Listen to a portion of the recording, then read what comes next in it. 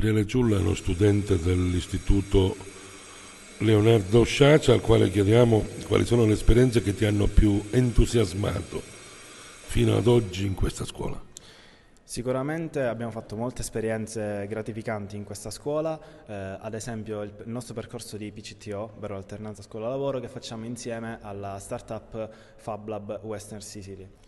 In questo percorso abbiamo imparato diverse attività, ad esempio la modellazione e la stampa 3D, oppure eh, l'intelligenza artificiale.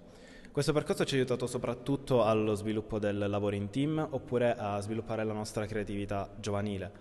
Infatti noi partiamo da un'idea che poi andiamo a formalizzare in un prototipo grazie ovviamente agli strumenti che la scuola eh, e questa startup ci fornisce come ad esempio la stampante in 3D oppure la, il taglio laser. Oltre a questa attività di PCTO noi facciamo anche altre diverse attività come ad esempio un torneo di videogiochi che appunto sviluppa la nostra competitività con, competitività con altre scuole di tutta la nazione oppure anche un... Eh, Oppure un evento eh, che riguarda l'intelligenza artificiale in cui i ragazzi si specificano nella creazione di applicazioni oppure di programmi per, lo, per l'intelligenza artificiale. Al professore Carmelo Camilleri, docente di questo istituto, chiediamo perché scegliere il tecnico di informatica e telecomunicazioni. Beh, il digitale è ovunque, eh, perché sceglierlo? Perché sicuramente dà una preparazione in linea con i tempi, eh, sia da un punto di vista teorico che da un punto di vista pratico nel campo dei sistemi informatici e delle telecomunicazioni. Eh, la nostra mission è quella di assicurare una formazione di altissimo livello e diciamo, cercare di preparare i ragazzi ad entrare sin da subito nel mondo del lavoro. Quali sono, quali sono le materie professionalizzanti?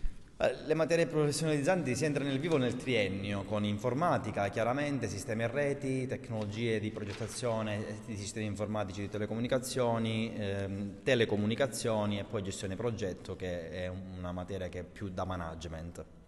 Eccoci, ci saranno dei punti cardine su quale il docente deve puntare per un, un approfondimento stimolante ed efficace?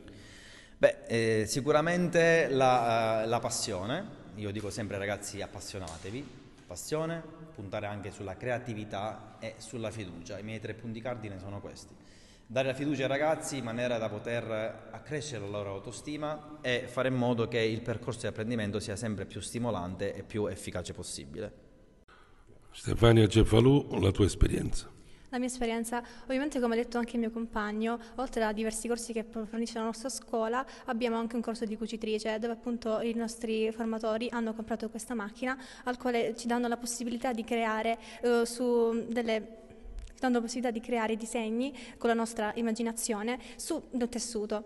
Oltre a questa esperienza di PCTO, alternanza scuola, ex alternanza scuola lavoro, abbiamo anche avuto la possibilità, diversi alunni di questo istituto, di fare un viaggio Erasmus, dove abbiamo conosciuto appunto altre culture ehm, e altri metodi di studio attraverso anche la, il lavoro in team, attraverso queste persone parlando l'inglese. Infatti sono partite la Danimarca, ovvero il mio gruppo, e adesso partirà a breve il gruppo della Turchia. Ecco, ci racconti brevemente la tua esperienza in, Danimarca? Allora, la mia esperienza in Danimarca.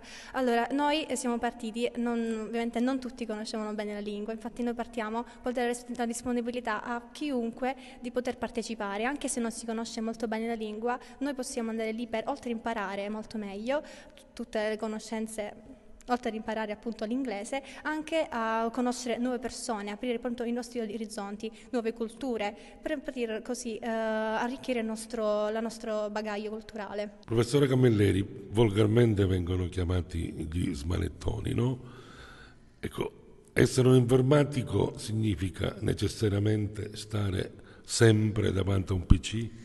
Beh, no, assolutamente no. Essere un informatico non significa stare davanti a, a, battere i tasti di una tastiera davanti a un monitor, ma spesso significa anche occuparsi di tante cose molto più appassionanti. Intanto mettere in gioco e dare sfogo alla propria creatività, perché il digitale permette anche questo, ma sicuramente anche sviluppare anche soft skills come per esempio il lavoro in team o la condivisione dell'analisi del contesto o del, della scelta delle soluzioni per, per il raggiungimento degli obiettivi. Comunque in generale eh, diciamo che gli chi lavora con l'informatica lavora anche nel campo della consulenza, della formazione, non è solo stare a, fare lo smanettone o il nerd, come si dice tecnicamente nel gergo. Per la mia personale esperienza io consiglio di scegliere il corso informatico anche per le ragazze, anche se non si pensa che sia un corso per le femmine, perché eh, si ha una mentalità un pochettino arretrata, ma io appunto lo consiglio perché oltre a dare tantissime competenze in ambiti lavorativi di qualsiasi genere, ti arricchisce appunto le competenze in uh, molti settori che si stanno sviluppando di questi tempi.